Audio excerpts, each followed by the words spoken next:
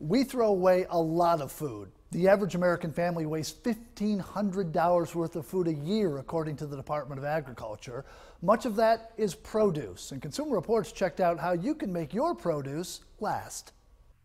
We know fruits and vegetables are good for us, but more than half the produce we buy ends up in the garbage. What's the best way to keep food fresh and stop this waste?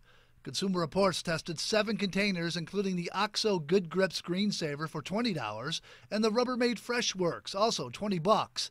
They were filled with raspberries, strawberries, baby leafy greens, and a head of lettuce. Testers also stored samples in their original clamshell containers. They were left in a refrigerator and checked regularly.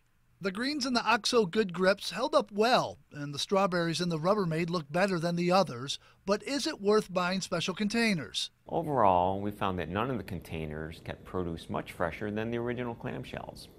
However, Consumer Report says the refrigerator itself can make a difference. Produce that's stored in the dual evaporative refrigerator, one that chills the freezer and refrigerator sections separately, lasts longer.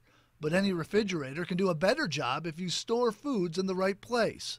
The best move is to store fruits and vegetables in low and high humidity bins in the refrigerator when you bring them home. For instance, broccoli and leafy greens should go in a high humidity drawer. The low humidity drawer is best for most fruits, and some produce should never go in the refrigerator. Tomatoes do best stem side down on the counter. Keep potatoes and onions separate because gases from the onions will cause the potatoes to sprout. Bread will last longer if you keep it in the freezer, not the refrigerator. Take out what you need as you go along. It takes just a few minutes to thaw. I'm News 2's